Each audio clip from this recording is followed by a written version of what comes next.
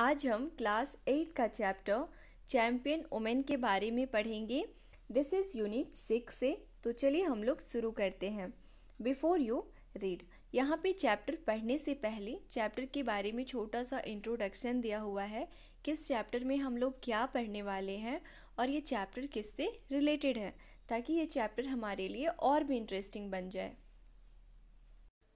There was a time when the Indian society was dominated by the men. एक समय था जब भारतीय समाज पर पुरुषों का शासन था। The time has change and women are establishing a respectable position in every field लेकिन अब समय चेंज हो चुका है है ना? टाइम बदल चुका है। और इंडियन वुमेन मीन्स भारतीय महिलाएँ अब हर क्षेत्र में अपने लिए एक रिस्पेक्टेबल पोजीशन को पाने में सफल हो चुकी हैं। Indian sports women are also coming into their own now they are making India proud by winning medals and titles that had seemed so elusive until recently Indian sports women means भारतीय महिला खिलाड़ी अब खुद से खेलों की दुनिया में आगे आ रही हैं, है ना? और वो इंडिया को प्राउड फील करा रही है। बहुत सारे मेडल्स और टाइटल्स मीन्स पदक और उपाधियाँ जीत के जो कि कुछ समय पहले तक बहुत ही मुश्किल काम लगता था। है ना? मतलब हमारे सोच से बहुत परे था। Not only are there more Indian women in sports these days, they are doing better than ever before. केवल ऐसा नहीं है कि भारतीय महिला खिलाड़ी इन दिनों अधिक संख्या में खेलों में हैं बल्कि वो पहले से कहीं ज़्यादा अच्छा प्रदर्शन भी कर रही हैं। They are inspiring the young girls who are taking up sports and aspiring to become successful like the other champions वे उन यंग गर्ल्स के लिए इंस्पिरेशन मीन्स प्रेरणा का काम कर रही हैं, जो खेलों से जुड़ना चाहती है है ना? जो खेलों की दुनिया में आना चाहती हैं। और अन्य विजेता खिलाड़ियों के समान सक्सेसफुल मतलब सफल होना चाहती हैं। Let's read about few such women तो चलिए हम लोग इसी तरह के कुछ महिलाओं के बारे में इस चैप्टर में पढ़ते हैं। The average Indian women who constantly struggles between the fulfilment of her dreams and the demands of the fundamentalist have slowly but surely started carving out a niche for themselves in society आज average भारतीय महिलाएँ means आम भारतीय महिलाएँ जो लगातार, है ना, अपने सपनों को पूरा करने और रूढ़िवादी लोगों मतलब जो कट्टरपंथी वाले लोग होते हैं ना, उनके बीच में वो संघर्ष कर रही हैं। ठीक है? और वो धीरे धीरे ही सही, लेकिन विश्वसनीय रूप से अपना एक मुकाम हासिल करने की शुरुआत कर दी है। By rising above the age old conventions, norms, and setting aside the life of compromise and sacrifice that they were expected to lead, the Indian female's journey from oblivion to recognition has been a story of determination and courage where she has managed to silence every critic who has dared to question her skills and capabilities. वो सदियों पुरानी मान्यताओं से, है ना मतलब दकियानुसी सिद्धांतों और बंदिशों से ऊपर उठकर उनका जो कॉम्प्रोमाइज एंड सेक्रीफाइस है ना, जो उनका समझौते और बलिदान पर आधारित जीवन था, जिसको वो आज तक जीती आ रही थी, इन सबको साइड करके, है ना, और जो लोग उनसे अपेक्षा करते थे कि वो कैसे रहे, कैसा लाइफ जिए, है ना? किस तरह से वो अपने लाइफ को स्पेंड करे, इन सबको दूर करके, है ना? इन सबसे परे हटकर। जो भारतीय महिलाएँ हैं, ठीक है? जो भारतीय नारी हैं, उनका एक गुमनामी से गुमनामी से मतलब उन्हें कोई नहीं जानता था, उनका कोई नाम नहीं था। तो अपना एक पहचान बनाने तक का उनका जो सफ़र था, उनका जो यात्रा था, ठीक है? वो डिटर्मिनेशन एंड करेज मतलब दृढ़ निश्चय एवं साहस की ऐसी कहानी है जिसमें उन्होंने हर एक क्रिटिक का मतलब आलोचक का मुँह बंद करा दिया जिन्होंने उनकी स्किल्स एंड कैपेबिलिटीज़ मीन्स योग्यताओं और क्षमताओं पर प्रश्न उठाने का साहस किया था। मतलब जितने लोग थे जिन्हें ये लगता था कि महिलाएँ कुछ नहीं कर सकती हैं वो सब अब चुप हो चुके हैं। As women stamp their authority across all fields, the world of sports is no different. जैसा कि अभी महिलाओं ने हर क्षेत्र में अपनी शक्ति की छाप छोड़ी है तो खेल की दुनिया भी इससे अछूता नहीं है। मतलब खेल की दुनिया भी इससे अलग नहीं है। From an era where the sparse Indian sporting glories were limited to the men's event with the female athletes failing to be worthy challengers.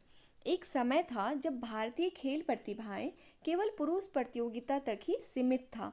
लेकिन जो भारतीय महिलाएँ थी, ठीक है, जो भारतीय महिला खिलाड़ी थी इवन एक चैलेंजर भी नहीं थी मतलब सम्मानजनक चुनौती देने लायक भी नहीं थी। Let alone be competitors to an age where Mary Kom and Saina Nehwal bring as many laurels as M S Dhoni और अदर स्पोर्ट्स पर्सन लेकिन वही आज के समय पे मेरी कॉम और साइना नेहवाल उतनी ही प्रतिष्ठा प्राप्त कर रही हैं जितना एम एस धोनी और अन्य खिलाड़ियों ने किया है।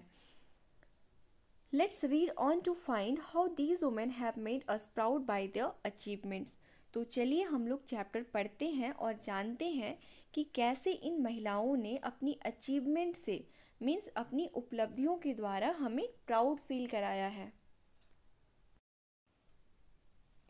Sania Mirza, tennis player. हम लोग सानिया मिर्ज़ा से पढ़ना शुरू करते हैं। सानिया मिर्ज़ा क्या है? Tennis player. Sania Mirza is India's best known female sports person who has appeared in international tennis circuits with frequently impressive results. Sania Mirza Bharat की best known female sports person मतलब सबसे प्रसिद्ध महिला खिलाड़ी है। है ना? वो जानी मानी महिला खिलाड़ी हैं, जो इंटरनेशनल टेनिस मतलब अंतर्राष्ट्रीय टेनिस के क्षेत्र में प्रभावशाली रिज़ल्ट के साथ प्रस्तुत हुई हैं। She began playing tennis at the age of six turning professional in 2003 वह छः साल की उम्र से टेनिस खेलना शुरू करती हैं और 2003 से वो प्रोफेशनली खेलना शुरू करती हैं। प्रोफेशनली का मतलब क्या होता है? व्यवसायिक या पेशेवर। तो वो पेशेवर खिलाड़ी 2003 में बनी। Having been trained by her father Sania won ten singles and thirteen doubles titles as a junior player अपने पिता के द्वारा ट्रेनिंग प्राप्त करने मीन्स प्रशिक्षण प्राप्त करने के बाद सानिया ने 10 सिंगल्स और 13 डबल्स के खिताब जूनियर खिलाड़ी के रूप में जीता था। A mere 16 year old Sania became the first Indian girl to win a grand slam in 2003 with she accomplished in doubles event at Wimbledon. मात्र 16 वर्ष की उम्र में सानिया 2003 में ग्रैंड सैलम अवार्ड जीतने वाली पहली भारतीय महिला खिलाड़ी बनी। जिसे उन्होंने विम्बलडन के डबल्स के खेल में प्राप्त किया था।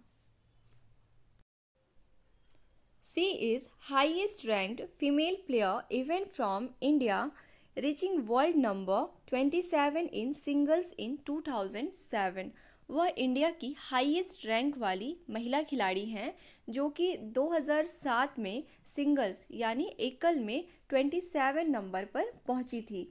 जो कि भारतीय टेनिस खिलाड़ी के लिए अब तक का सबसे ऊँचा रैंक था। In 2015 she became the first female Indian tennis player who gain the number one position in doubles उसके बाद 2015 में वह पहली भारतीय महिला खिलाड़ी बनी, जिसने डबल्स के खेल में प्रथम स्थान मतलब फ़र्स्ट रैंक प्राप्त किया था। A total of fourteen medals adorns her neck which includes six golds at three major multi sport events namely the Asian Games the Commonwealth Games and the Afro Asian Games कुल fourteen medals उनके गले का शोभा बढ़ाते हैं। मतलब उन्हें कुल fourteen medals मिले थे, जिसमें से सिक्स गोल्ड हैं। मतलब छः स्वर्ण पदक हैं, जो कि उन्होंने तीन प्रमुख खेल आयोजनों में, जो कि एशियन गेम्स कॉमनवेल्थ गेम्स और एफ्रो एशियन गेम्स में जीते हैं।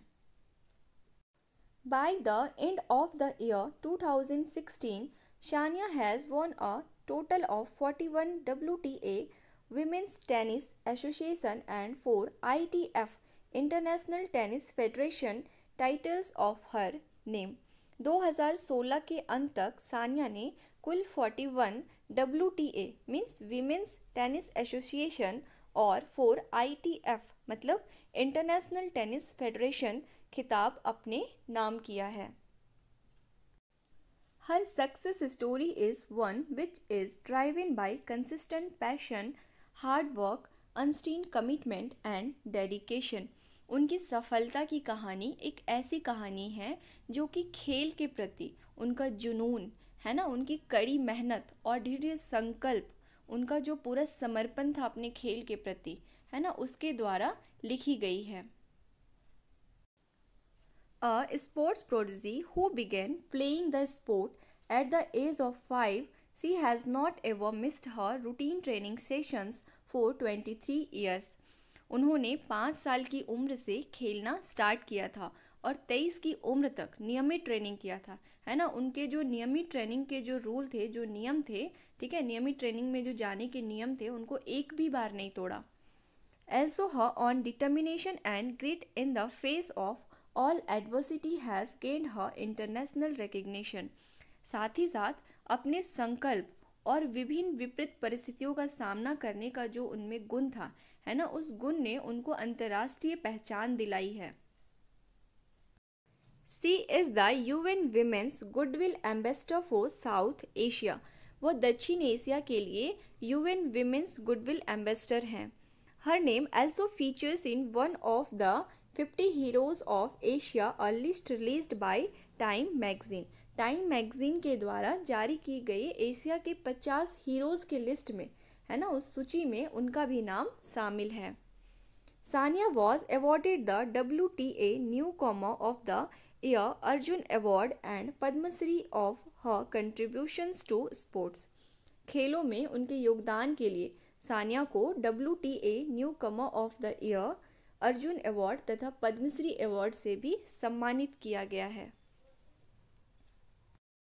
Now comes Saina Nehwal badminton player Saina Nehwal is a badminton player from India who is among the world's top players in women's badminton. Saina Nehwal Bharat की एकमात्र ऐसी badminton player है मतलब ऐसी badminton खिलाड़ी हैं जो कि महिला बैडमिंटन में, वर्ल्ड की, है ना? विश्व की श्रेष्ठ खिलाड़ियों में से एक हैं। She was interested in badminton from an early age वो छोटी सी उम्र से ही बैडमिंटन में इंटरेस्टेड थी मतलब वो बैडमिंटन में रुचि रखती थी। In 2006 she came into the limelight as a teenager when she won the under 19 national championships वो 2006 में सुर्खियों में आई थी, है ना? जब उन्होंने अंडर 19 राष्ट्रीय चैंपियनशिप जीता था।